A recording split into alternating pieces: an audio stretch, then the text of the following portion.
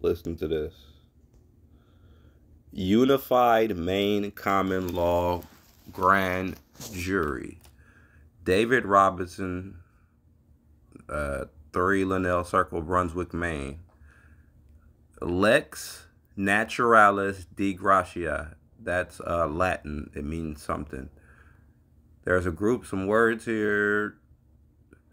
So the civil orders from July 4th, 2014 issued to all members of the domestic police forces, U.S. Marshal Services, the Provost, Marshal, members of the American Bar Association, and the American Armed Service. These organic American states of the Union, known as the United States of America, major, known as the United States of America, major, exercising plenary civil power upon the land hereby appoint General Carter F. Ham to lead the command, the Grand Army of the Republic, or known as the GAR, and its successors under the guidance of the Joint Chiefs of Staff and with the full, and with their full support. The Joint Chiefs of Staff are like the president and the head of the military.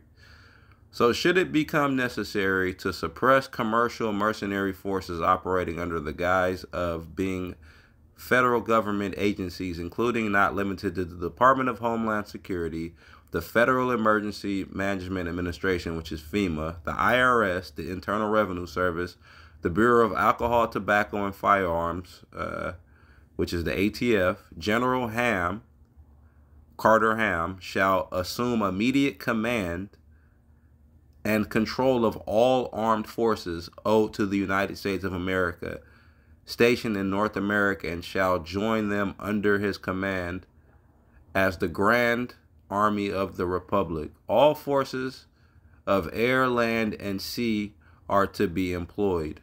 Any cost or loss suffered as a result of deployment, the Grand Army of the Republic shall be charged as stipulated prior.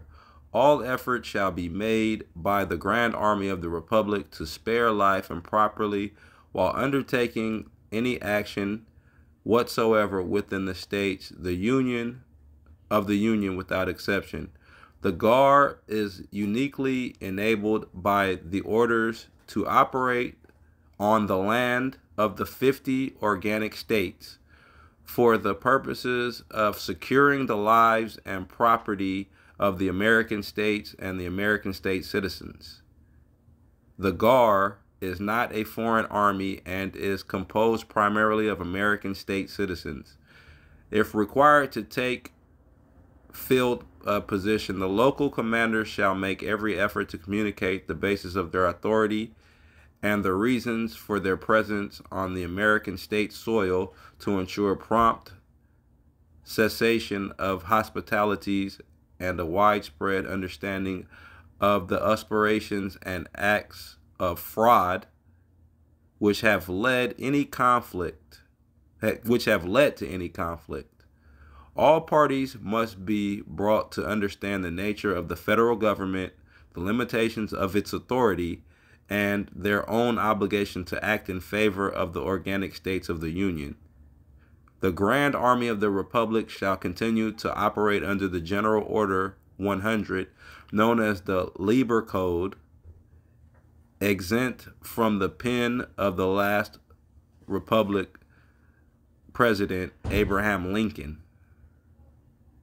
So there's a little bit more to read here. If you guys want to screenshot that and read that, I'm gonna go eat dinner. But uh, it looks like uh, some people have taken over the government and uh, they're not telling us about it, and that's kind of what this coronavirus is about.